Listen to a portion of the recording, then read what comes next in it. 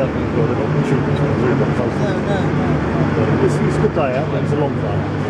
It is a long day. It's an early start in London today.